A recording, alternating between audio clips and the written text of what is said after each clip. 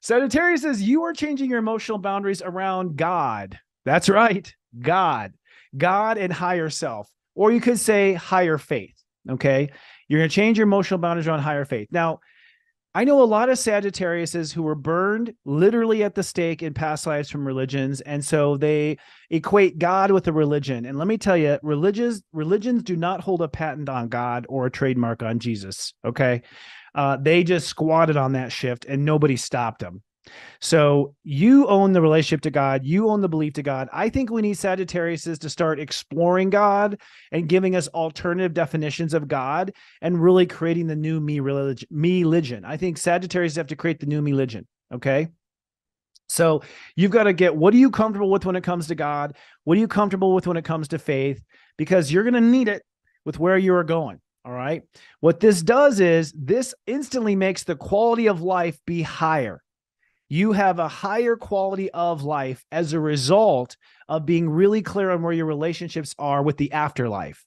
And that might be that you finally have faith. That might mean that you have patience. That might mean that you give yourself more time and space because you have this sense that something over your shoulder is helping you. But once you are comfortable with God and the universe and whatever your theory is, then suddenly life is just going to blossom for you in great ways. Now, this will shift uh, uh, automatically and change your home and family situation. Sagittarius have never been quite comfortable in their own skin. They've never been quite comfortable at home. Every Sag I know is out the door as soon as they get home, whether it was after school or whether they're married to someone. They just aren't homebodies very often.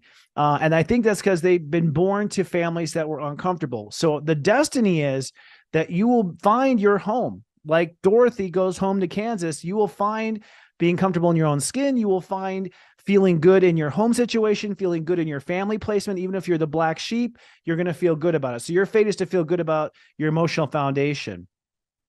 Now, Mercury is in your sign, Sag. So the Sages are about to get a little chatty, by the way, y'all. So if a, if a Sag comes to your Thanksgiving party, they're going to talk your ear off. Just saying. Okay. They they got Mercury in their sign right now ultimately what you've got to change is the story and how you treat yourself most sagittariuses i know are always self-deprecating humor like oh i'm you know except for me or except me at 5 a.m like they always have this sort of the way you treat yourself is i think of it as almost a false humility no offense you're sort of putting yourself down a little bit to sort of be with the common people and I think it's time to own what you're good at and, and be honest with you're bad at. Like, I think it's time to change that conversation with how you treat yourself you know, putting yourself at the first of the line, giving yourself going after what you really want.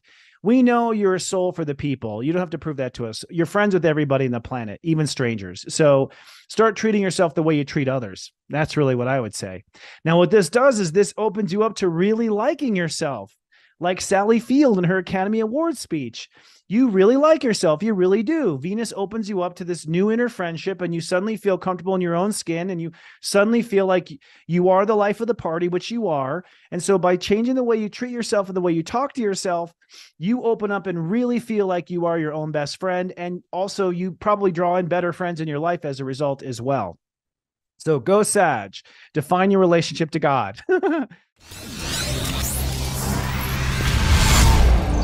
Sirius Joy, joy, joy.